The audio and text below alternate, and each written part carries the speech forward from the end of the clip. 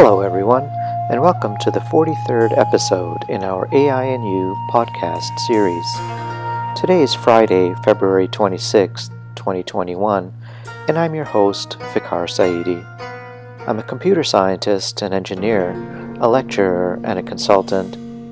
I'm also the author of several books. My most recent book is about artificial intelligence and is titled The Genome Affair. The Genome Affair is a speculative work. It examines what the world might be like if some of the more extraordinary capabilities forecast to be realized in AI over the next 20 to 30 years were actually realized today. Given the growing list of frightening existential threats humankind now faces, the book pays particular attention to the impact AI is expected to have on world affairs. The book is available in ebook format for those who prefer to read on a digital device, but it's also available in a high quality paperback edition. The Genome Affair is available on Amazon, so I hope you'll take the time to read it and to leave a review. Amazon book reviews are very helpful for writers. I'm very interested in how science and technology influence world affairs and the big questions facing humankind. Studying at the confluence of the great disciplines of human history, political science and thought, international affairs, science and technology offers a deep understanding and pedagogically important lessons of how important advances in human endeavor have influenced and impacted civilization. I'm available to give talks on artificial intelligence and its related technologies, and on the impact AI is expected to have, or is already having, on our world. If you'd like to get in touch with me to, arrange, to arrange a web based event or consulting meeting with your company or organization, you can find my contact info in the podcast notes below. Please make sure to subscribe to my channel, like this video, and share it with others if you find the content valuable. Thank you. And now, on to today's podcast. In our last podcast, episode 42, I spoke about AI and other fourth industrial revolution technologies might mean for the future of democracy. In today's podcast, episode 43, I'll talk about some fascinating examples of how artificial intelligence is impacting the life sciences. Let's get started. The application of artificial intelligence in the life sciences is one of the most exciting areas in which AI can and is having a profound impact. This is because AI has the potential to improve the quality of life and health outcomes for millions or even billions of ordinary people across the globe. AI can compensate for key shortages of highly trained medical staff, thus dramatically improving healthcare access. It can also constantly monitor human biometrics and thus alert the individual and their health system at the very first sign of emerging pathology. Artificial intelligence is also capable of processing volumes of medical data that for, human, for humans remains incomprehensible, and AI can complete this processing in a matter of seconds. This process can potentially identify patterns that can predict the onset of various pathologies along a timeline in which they can be quickly contained and before any significant harm has been done to patient health. This will improve the quality of life for patients around the world who may have previously lacked healthcare access, and it will also reduce costs for financially stressed health systems throughout both the developing and developed world. One important area where artificial intelligence is playing just such a role is in the medical field of radiology. For the past several years, researchers at Stanford University's Department of Computer Science have been working on a fascinating application of deep learning neural networks in the area of radiology. they have developed an AI agent that can identify pathology in x-rays. The researchers used a set of 100,000 x-rays they received from the National Institutes of Health. Some charts had no pathology, while others did present some pathology. The NIH also provided comprehensive information regarding the nature of the pathology. The Stanford AI application was trained on these 100,000 charts and was then tested by showing it new charts. The tests demonstrated that the AI was accurate 33% of the time, whereas radiologists trained at Stanford Medical School were accurate 95% of the time. The researchers obtained a second data set of 200,000 additional x-rays from Stanford University's medical school and continued to train the AI application with this new data set the AI application is now 98% accurate in identifying pathology in the x-rays along with the nature of the disease. If we think about all the rural and urban communities in the developing world, or in the numerous conflict zones where the need for effective diagnosis exists, an AI application like the one from Stanford will be of inestimable value there may now be diagnostic imaging equipment available in some of these distant communities, but it's unlikely that they will have radiologists available with the capacity or skill to effectively read so many diagnostic images. In fact, the sad reality is that amongst the world's population of 7.5 billion, only 2 billion have access to medical imaging and subsequent professional diagnosis.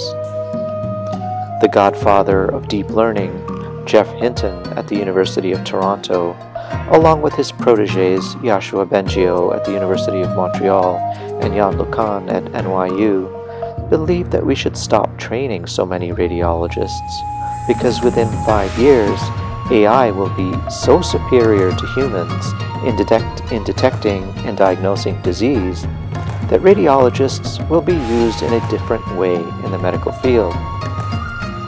Scientists at Stanford agree with Hinton, but radiologists at the University of Chicago Medical School believe that such claims are exaggerated.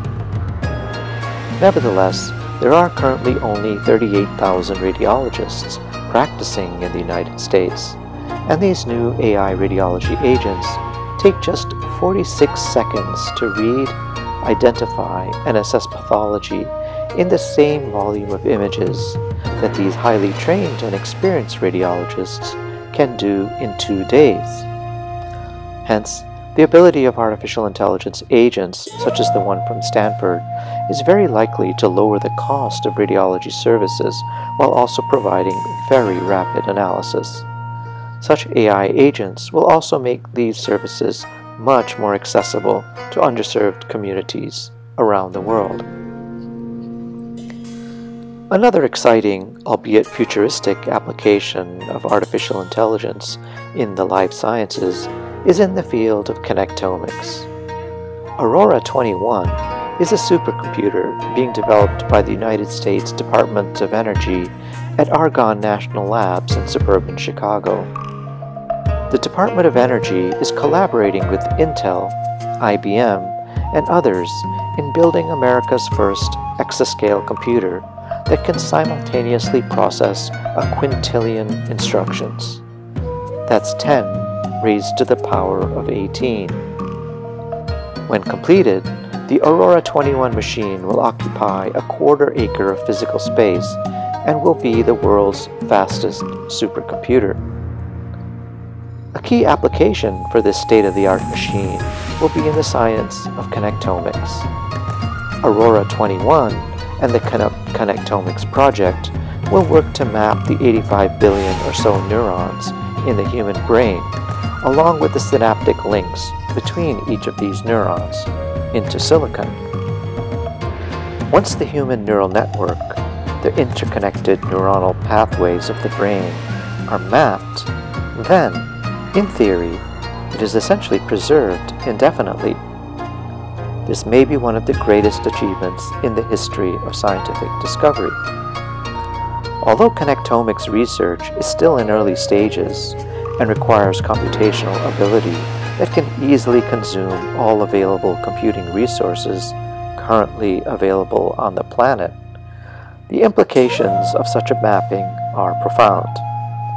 It may yet take four to eight decades, but once we succeed, we will have essentially extricated the human mind from its biochemical host and preserved it indefinitely in silicon based memory chips and processors. Then, each mind may have the potential to live on indefinitely.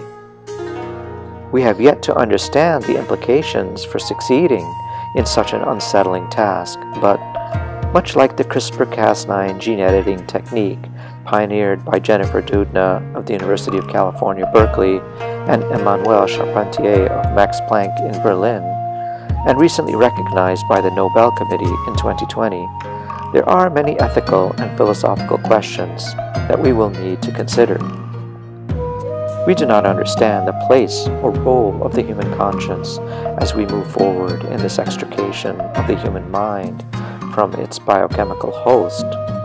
For example, will the conscience automatically transfer during this extrication process or not? And this will lead to tremendous controversy, ethical debate, and cause for regulation, much like we are currently experiencing in the field of gene editing or germline editing. Ethical and philosophical challenges notwithstanding, the potential for progress in such extrication and transplantation, or transhumanism to silicon, is staggering. So many of the ideas that have frustrated human minds for centuries suddenly become plausible and feasible. For example, the content of our mind, that is, our thoughts and ideas, our memories and personality, and even our conscience, this can readily and easily move from place to place, not simply on Earth, but across the universe and at light speed. This scientific and technological path makes mass Earth and space travel realistic for the first time in human history, while simultaneously disturbing the path of evolutionary biology with this alternative and profound path of intelligent design. In fact, the more we think about it, we find the possibilities resulting from connectomics are endless. At this point, you might be thinking that this is just science fiction, but in fact, nothing we are discussing is contradicted by the laws of physics, according to professor and theoretical physicist Michio Kaku at the City University of New York we are now capable of exploring the universe as pure consciousness, traveling, when needed, at the speed of light, and then embodied in avatars or exoskeletons once at our destination. Of course, this does call into question what it really means to be human anymore, and we are uncertain about the consequences of embarking upon the connectomics and transhumanism trajectory even though we are scientifically convinced that through silicon and artificial intelligence algorithms, we can potentially preserve human consciousness, memories, personalities, and thoughts indefinitely. Although we may be 50 years from rudimentary capability in these revolutionary sciences, by the end of the century, we may have realistic abilities for such preservation of human life or human minds. But what might we get wrong along this journey, and what might the consequences of these mistakes be? We are interrupting evolutionary biology. Is this a step forward for humankind, or is it some form of an escape? These are questions that remain to be answered as Aurora 21 and other quantum and supercomputers enabled by artificial intelligence unlock the secrets of the human mind in the coming decades. Thank you for spending some time with me. I'm trying to follow the TED Talk format, and so I'm keeping these podcasts under 20 minutes. Let me know what you think. I hope you'll find these insights into artificial intelligence helpful, and I hope you'll read my new book, The Genome Affair. It's on Amazon. Until next time, then, this has been the AI and You podcast with author Vicar Sayeedi.